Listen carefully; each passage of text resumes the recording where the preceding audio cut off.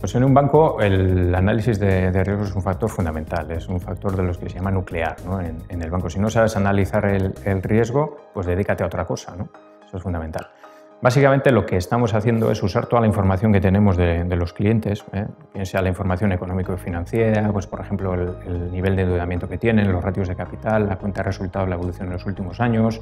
Comparamos eso con, con el análisis sectorial de los sectores, hacemos una comparativa con empresas similares Miramos también toda la historia que tenemos con esos clientes y eso nos permite una optimización de los procesos de, riesgo. Si hacemos una, evolución de los últimos años estos de, la crisis, hemos estado viendo que básicamente lo que se necesitaba era para liquidez.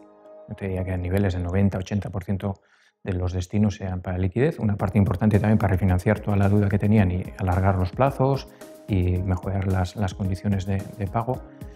Y ahora mismo, pues, a raíz de, esta oferta de preconcedidos, acabamos de realizar una encuesta entre los clientes que lo que nos dice es que el 41% como destino principal es liquidez, sigue siendo el destino principal, pero el nivel de inversión, que ha sido siempre históricamente pues algo fundamental en la financiación de las empresas, pues ya estamos a niveles del 35-36%, con lo cual ese mix entre los dos se está equilibrando bastante.